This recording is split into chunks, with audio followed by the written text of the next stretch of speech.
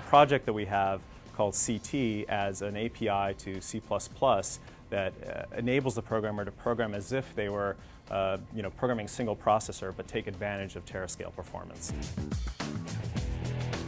You take an ultramobile device and you add a little bit of sensing capability, in this case magnetometers and accelerometers, and you couple that with an application like Google Earth. When you combine just a little bit of sensing with these new devices, you get a device that's much more natural and intuitive to use.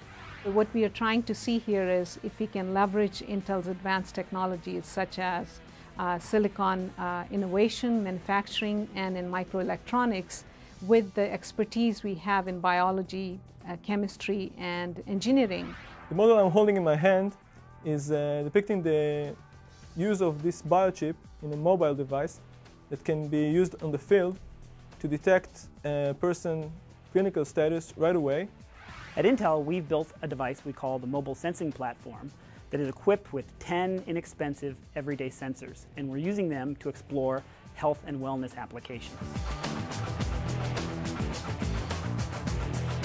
The idea behind the area configurable antennas is that we put FET switches in them so that we can change the radiation patterns of the antennas to support 3G, Wi-Fi, and WiMAX frequencies.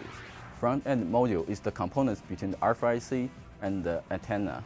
Here we demonstrate a new approach to, to design one front-end module which is configurable for different communication standards. We consider a new technology that allows us to reduce time to market to provide a new system for novel multi-radio communication devices. So as you put multiple radios on the same laptops, the radios are going to compete for the spectrum, air resources, and front-end antenna. And if you have a micronation, you can have them running simultaneously without user interrupt. So this research is really geared to help the industry solve issues in power, size, flexibility, and cost of radio systems for end user platforms.